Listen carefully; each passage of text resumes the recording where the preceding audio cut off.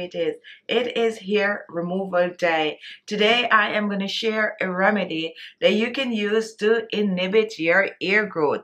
This ear removal is something that you can use at least two to three times per week to control the excess of facial hair. Now when it comes on to facial hair, most of us have facial hair. As a matter of fact, all of us has facial hair. It's just that some people have more facial hair than they would like. People have peach fuzz, which is the one that make your face look a little fuzzy, and those are easily removed. Now, when it comes on to females having facial beard and facial sideburns and excess hair on the upper lips. These are what we're trying to get rid of because in most cases it is embarrassing to the individual. Personally for me, I have excess chin hair that I am not so proud of. So what I do, I make remedies to control my chin hair. Right now, if you look at my chin, you might think that, oh no, she don't have chin hair at all. But the honest truth is I do, but I control them. So if you're looking for a way to control that facial hair, to have your face looking clean and clear and free from hair, then continue watching the video. Now to make this remedy here, we have the cornstarch and we're to use cornstarch because once the cornstarch is dried on the skin, it's to have to release the hair from the hair follicles. So we're to start using about two tablespoons of the cornstarch. So the first thing that we're to do with our cornstarch, we are going to turn it into cornstarch gel. And to do this all you need to do is add hot water to it. Make sure the water is to boiling point. So we're going to start off with about two tablespoons of the hot water. And this definitely need a little more. We're going back in. So about a quarter cup of hot water for this end. and you want to work really, really fast with this. So you're just going to keep mixing until the cornstarch form a gel-like consistency. Like what I'm showing here. Nice and jelly. If it need a little bit more water, go ahead and add it. Make sure to get rid of all the lumps.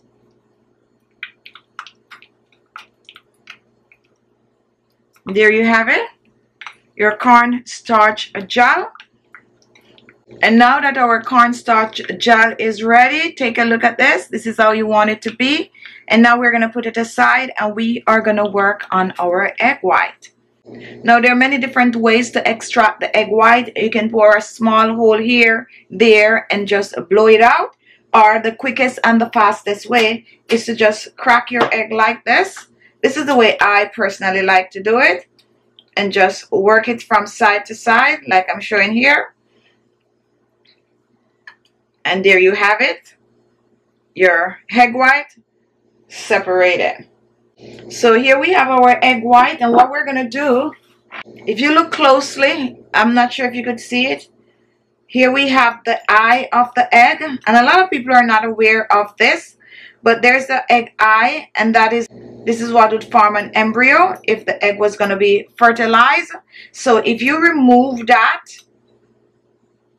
whenever you are making your remedies, then the egg won't smell as, you know, strong, I think. So now here we have our pure egg white and we're to whisk this. You can choose to use unwhisk or you can choose to just whisk it with a fork the old school way. It don't have to be totally flagged out. Just keep whisking. Now once this is done we're reaching back for our cornstarch mixture. We want to be generous with this one. We're going to use about two tablespoons of the cornstarch mixture add it to the egg and we're gonna blend the two together totally whisking the cornstarch and the egg white together. This is gonna take a while but just keep mixing. Now this is a large egg. You really don't need a large egg for this and small egg will do the trick. Now guys,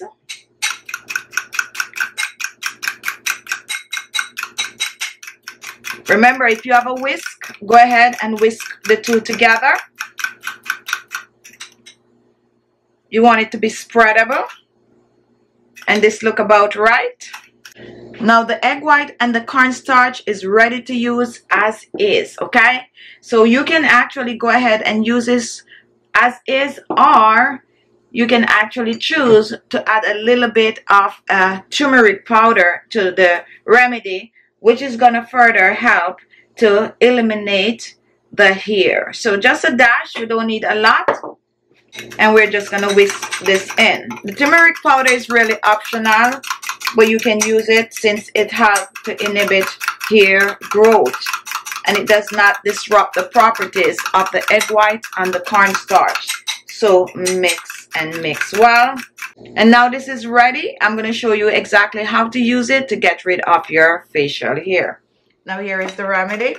And I had set this aside for about an hour or two to let the turmeric infuse.